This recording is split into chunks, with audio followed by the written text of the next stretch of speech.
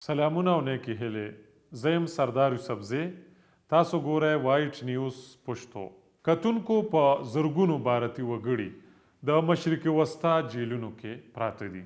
خو بارتی جنتا پارټی د پاکستان غورځولو دپاره دومره لاندې غورځیدلې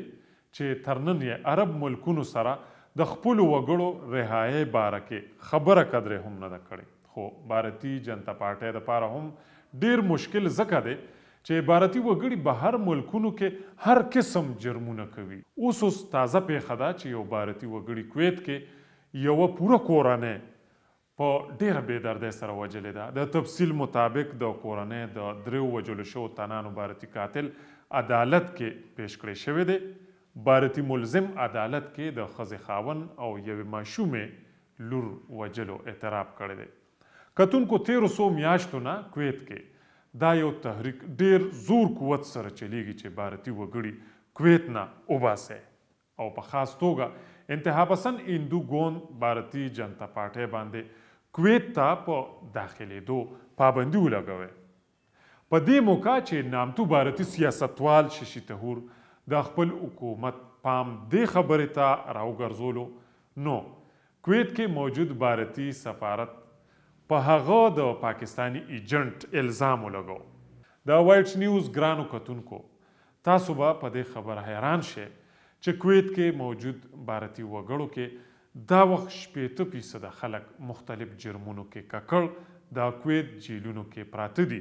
او دا وخت کویت کې د پانسۍ سزاوار تر ټولو زیات بارتي مجرمان دي د مشهور برتانوي اخبار دي ګارډین رپورټ مطابق میډل ایسټ کې د جسم فروشۍ تر ټولو زیاتې ښځې ته بهارت سره تعلق لري. د کال